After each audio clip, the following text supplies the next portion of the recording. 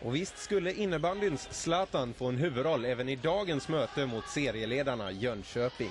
Helsingborg ledde med 3-1 efter första, men i andra började Jakob Olofsson show. 3-3 efter frislag. 4-3 senare i andra bakom Mattias Andersson i samma kryss. Olofsson sätter senare också 5-3. Men hemmalaget ville mer och den som ville allra mest var Alexander Nede. Det här drömmålet innebar 5-5 och tränare Vidar Jonsson jublar tillsammans med 2221 på läktaren. Jag tror jag fintar skottet, tar upp den i hoken, så skjuter jag bredvid backen. Så jag tror inte Gunnar ser den. Alltså. Men serieledarna Jönköping kom tillbaka igen och med fyra minuter kvar så avgör backen Daniel Schmidt 6-5.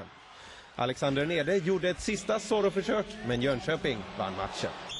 Över hela matchen så och gör vi lite sämre insats. I första som är med, andra så ger vi dem taktpinnen och målet där, det, det kvittar ju om vi inte vinner.